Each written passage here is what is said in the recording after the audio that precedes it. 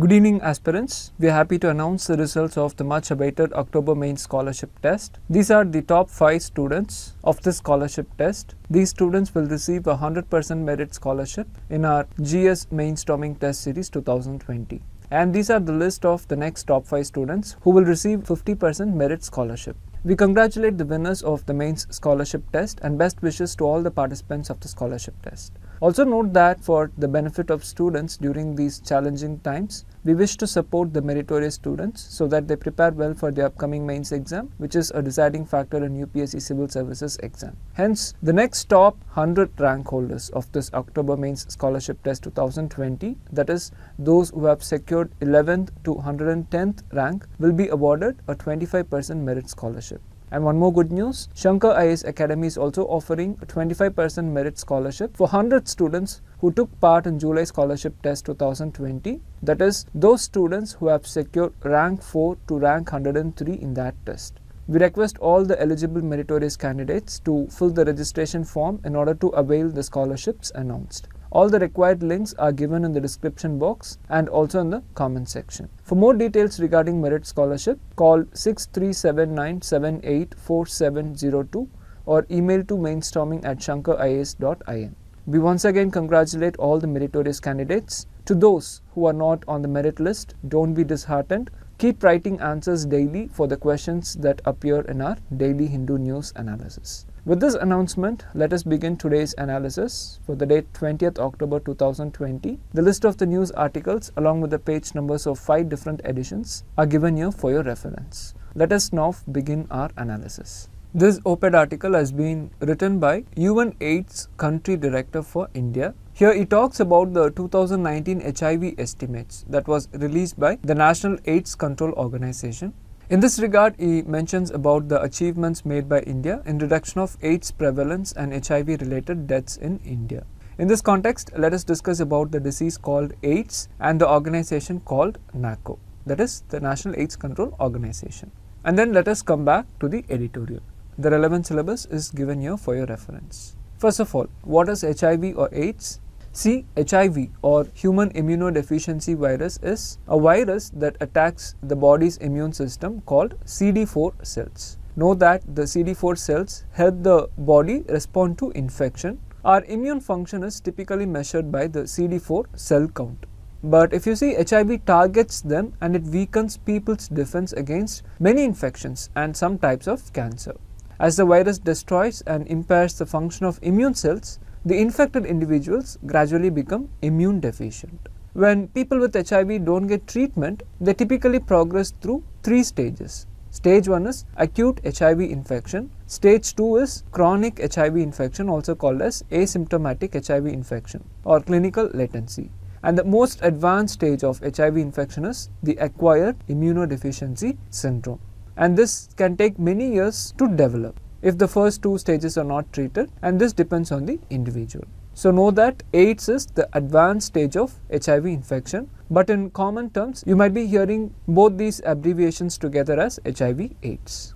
See AIDS is defined by the occurrence of any of the more than 20 life threatening cancers or opportunistic infections because they take advantage of the weakened immune system.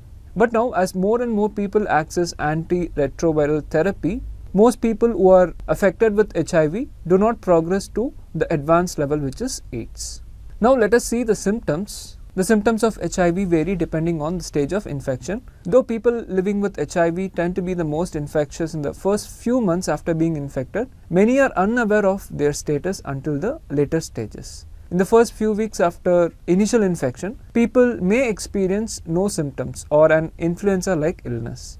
As the infection progressively weakens the immune system, they can suffer from swollen lymph nodes, weight loss, fever, diarrhea, and cough. Without treatment, they could also develop severe illnesses such as tuberculosis, cryptococcal meningitis, severe bacterial infections, cancers, etc. Now let us see how it is transmitted. See, HIV is found in certain bodily fluids in humans who are living with HIV. This includes blood, semen, vaginal fluids, rectal fluids, and breast milk. Now let us see what is the treatment available for AIDS. See there is currently no vaccine against HIV AIDS but if you say HIV is fully preventable. HIV is treated with antiretroviral therapy. It consists of one or more medicines that effectively suppresses the virus in the body. See, this ART does not cure HIV, but it reduces its replication in the blood, thereby reducing the viral load to an undetectable level. It should be taken every day throughout the person's life. And if a person who is living with HIV is on this antiretroviral therapy, then their chance of transmitting HIV to another person is greatly reduced. This includes transmission in sexual partners or from mother to child during pregnancy, delivery, and breastfeeding. So, we can say that ART enables people who are living with HIV to lead healthy, productive lives. Next, let us talk about NACO, that is the National AIDS Control Organization. See, it is a division of the Ministry of Health and Family Welfare that provides leadership to HIV AIDS control program or the National AIDS Control Program in India through 35 HIV AIDS prevention and control societies. And these are the objectives of NACO which is given here for your reference. So know that it is a division of the Ministry of Health and Family Welfare. This is in brief about HIV AIDS and about the National AIDS Control Organization that you need to know from exam perspective. With this background information, now let us come to this editorial. In this editorial, the author talks about the newly released 2019 HIV estimates by the National AIDS Control Organization. See, it was released with the technical support of UNAIDS. This report tells that there was a 66.1% reduction in new HIV infections among children and there was a 65.3 percentage reduction in AIDS related deaths in India over a 9 year period. Now, about the number of pregnant women who are living with HIV, the estimates tell that it has reduced from 31,000 in 2010 to 20,000 in the year 2019. And the overall antenatal coverage, that is, the medical care given to pregnant women, have also expanded, and the HIV testing has increased over time and it is within the target range. Also, the treatment coverage has expanded as well. Then this report also talks about the elimination of mother to child transmission of HIV. Under the leadership of National AIDS Control Organization, a fast tracking of this EMTCT strategy cum action plan was outlined in June 2019 and the deadline to achieve this target is December 2020. In order to achieve this target, the author tells that India needs to increase the treatment saturation coverage which involves improving the early HIV testing and treatment initiation. Only then India would be able to reach towards the final targets. So these are some of the points from this editorial. In this analysis, we have seen about HIV AIDS and the National AIDS Control Organization from exam perspective. And then we saw the editorial that discusses about the 2019 HIV estimates released by this National AIDS Control Organization. Now have a look at this practice question. Let us move on to the next news article. This op-ed article is with reference to the effect of pandemic on terrorist outfits like Al-Qaeda, Islamic State and others. The author talks about the Doha Accord and its implications for India. We will discuss all these aspects in this analysis. The relevant syllabus is given here for your reference. See, this discussion will be mainly helpful from the mains perspective as previously if you see there have been questions related to terrorism. In 2017, this question was asked in GS paper 3. The scourge of terrorism is a grave challenge to national security. What solutions do you suggest to curb this growing menace? And what are the major sources of terrorist funding? And even in the previous years, in 2016 and 2015, there were questions related to terrorism, as you can see here. Especially if you look at 2015, a question has appeared directly with reference to ISIS, which has also been discussed in this op-ed today by the former CBI director. So this year there is a possibility of similarly themed questions with reference to the actions of state and non-state actors in the terms of terrorism as per the UPSC syllabus. Now let us come to this analysis. First let us see the impact of the pandemic on the terror outfits. In the present time, the terror outfits are lacking resources to carry out terror acts. Why? Because there is a temporary loss of support from those who are normally hostile to the non Islamic world and tolerant Muslims.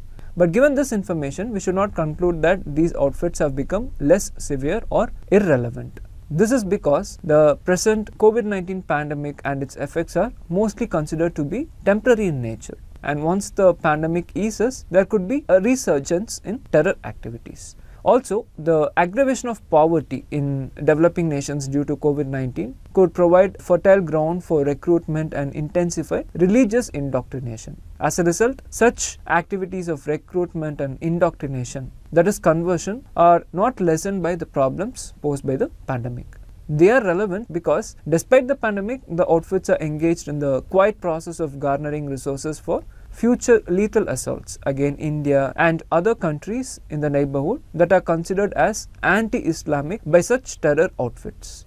Also, reports say that these terror outfits have been using the time during pandemic to reorganize and rebuild themselves. So they continue to pose global and regional threats. Now let us see about few terror outfits, their reach and the concerns for India and the world. See, two outfits are found to have an impressive global reach that are backed by global ambitions. They are the two most organized and motivated groups. One is the Al Qaeda and the second is the Islamic State.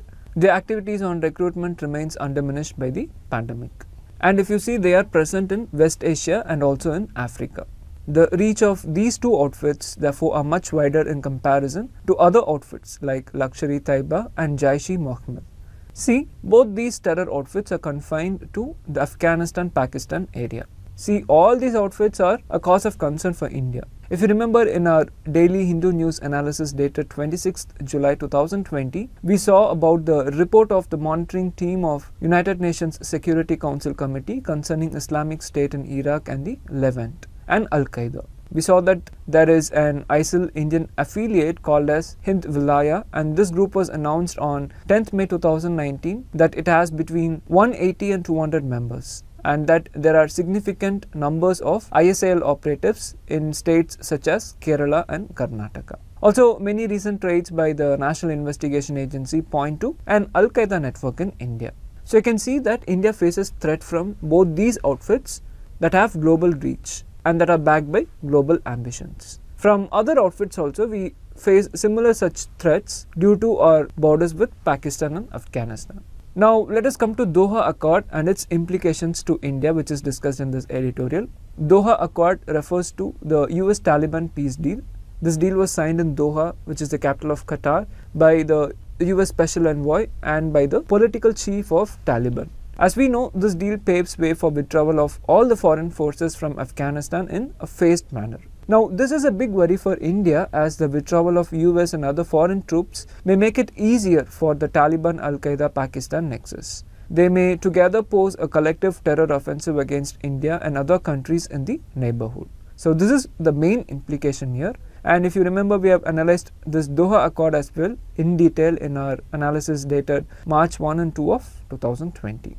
So these are some of the information with reference to the analysis of this op-ed article. In this analysis, we discussed about the relevance of terror outfits in the midst of this pandemic. Then we saw the outfits that have wider and confined global reach and what are the threats to India. And then we also saw the implications of Doha Accord on India. Now have a look at this practice question. Let us move on to the next news article. This editorial highlights some of the issues associated with NEET exam. So let us discuss in detail about NEET, the issues associated with it and how to make it more accessible and affordable for all as discussed in this editorial. The relevant syllabus is given you for your reference. NEET stands for National Eligibility cum Entrance Test. It is an eligibility and entrance test conducted as per the National Medical Commission Act of 2019 and know that section 14 of the act deals with this NEET. This section says that there shall be a uniform national eligibility cum entrance test for admission to the undergraduate and postgraduate super specialty medical education in all medical institutions which are governed by the provisions of this act. It also provides that the uniform NEET for admission to the undergraduate medical education shall also be applicable to all medical institutions that are governed under any other law for the time being in force. Thus, the admission to MBBS course in AIIMS New Delhi, then at JIPMER in Puducherry, and all AIIMS like institutions will be made through this NEET. Know that it is conducted by the National Testing Agency. See, National Testing Agency was established by the Ministry of Education, which was formerly called as Ministry of Human Resource Development. This National Testing Agency is an independent, autonomous and self-sustained premier testing organization. Its purpose is to conduct efficient, transparent and international standard tests in order to access the competency of candidates for admission to premier higher education institutions. So what is the purpose of NEET? It is for getting admission to Bachelor of Medicine and Bachelor of Surgery. then for Bachelor of Dental Surgery courses. And apart from this, National Testing Agency will conduct NEET for admission to other undergraduate medical courses in approved or recognized medical or dental and other colleges or institutes in India. So this is in brief about NEET and National Testing Agency that you need to know from exam perspective. With this background information, let us now discuss this editorial. Know that this year's NEET was conducted and the results were declared. The National Testing Agency had conducted the exam during this COVID-19 pandemic despite enormous resistance from certain states. As we know, NEET is all about standardizing medical education and ensuring the quality of the medical graduates. Now, this editorial says that raising the quality in medical education is a laborious and time consuming process. And such a big task is bound to be uneven at the start itself. Still, if you see there are some pressing issues with NEET that need to be resolved at the earliest. Know that education, including technical education, medical education and universities all come under the concurrent list of the 7th schedule of Indian constitution. So different states have been offering their own education systems with varying standards and pedagogies. And inequities began when NEET brought in an overarching single syllabus that was not accessible for the students belonging to these different states. And if you see certain category of students such as the poor, those living in remote areas and those studying in the state boards are at a disadvantage. Despite this, one good indicator is the overall improvement in scores over the years. So, in this context, the editorial tells that the states shall continue the endeavor to ease the access and to enhance students' ability to clear NEET successfully. This will definitely help students who cannot afford coaching classes.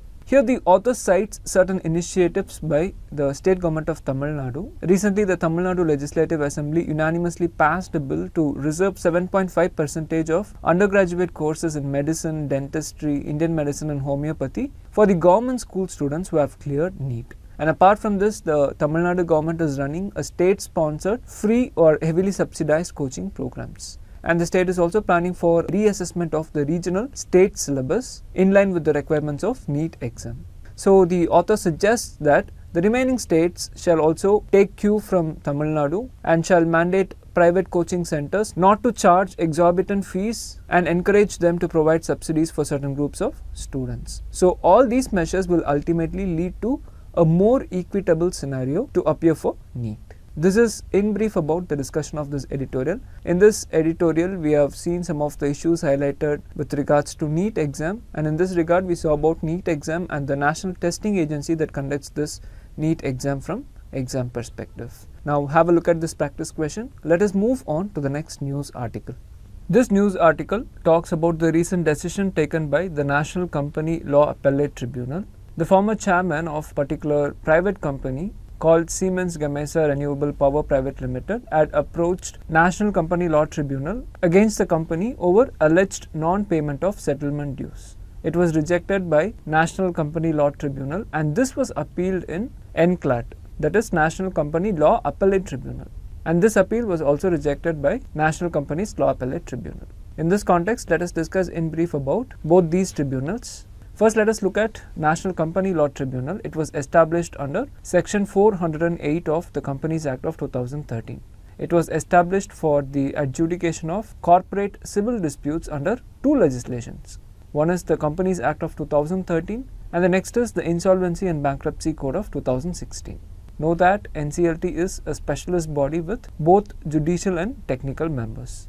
Like we said above, party can take issues such as non-payment of dues to National Company Law Tribunal, then National Company Law Tribunal will pass the judgment. And if party to the dispute is dissatisfied with the judgment of National Company Law Tribunal, then it can approach the National Company Law Appellate Tribunal, that is NCLAT.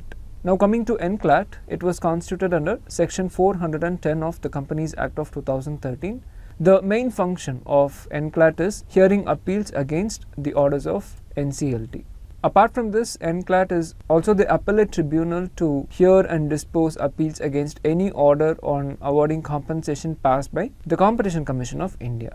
Apart from this, NCLAT is also the appellate tribunal for hearing appeals against the orders passed by the Insolvency and Bankruptcy Board of India as per sections 202 and 211 of Insolvency and Bankruptcy Code.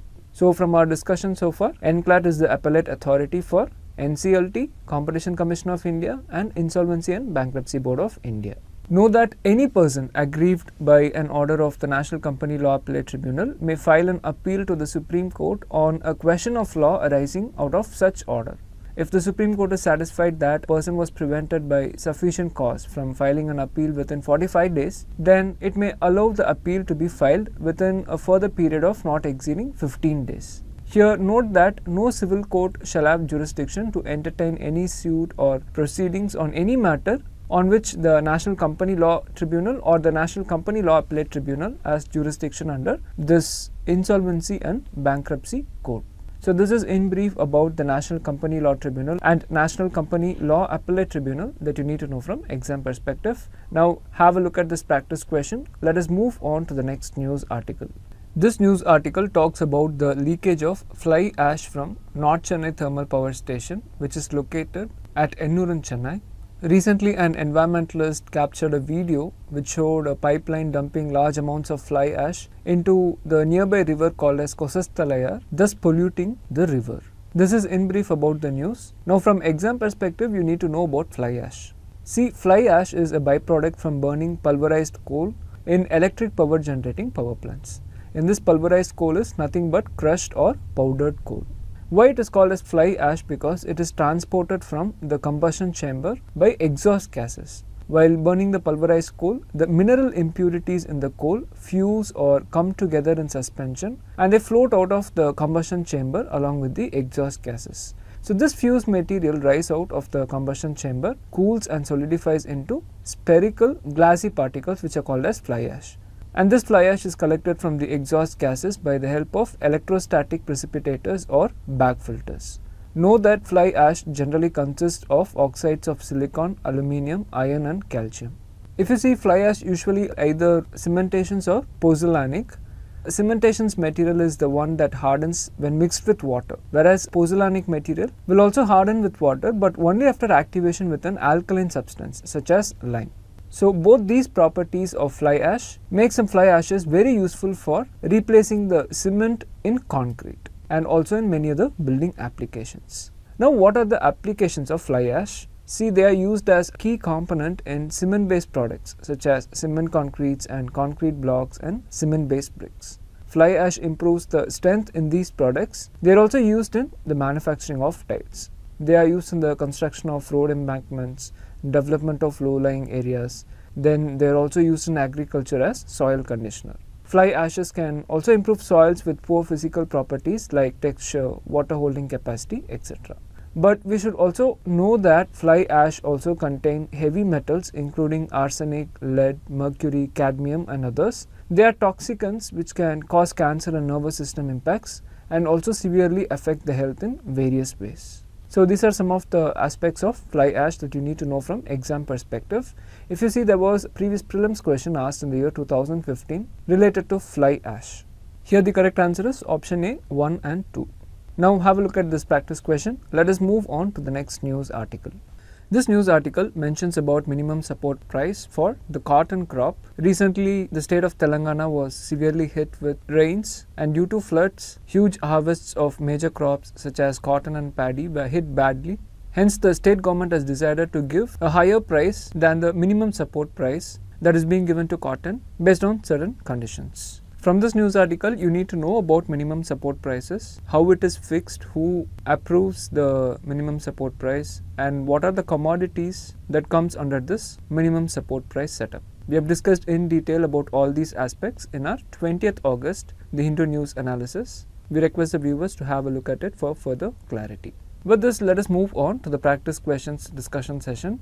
This first question is about human immunodeficiency virus. It is a three statement question and you need to choose those statement or statements that are incorrect. Look at the first statement. It tells that this HIV targets the immune system and weakens the affected person's defense against many infections. Yes, this statement is correct.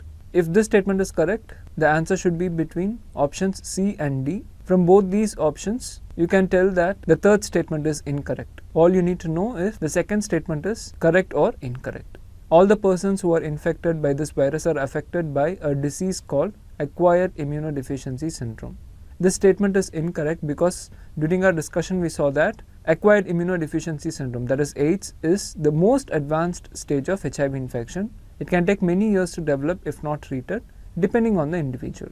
But now due to antiretroviral therapy and its accessibility, most people who are living with HIV do not progress to the level of AIDS. Hence the second statement is incorrect and the third statement is also incorrect.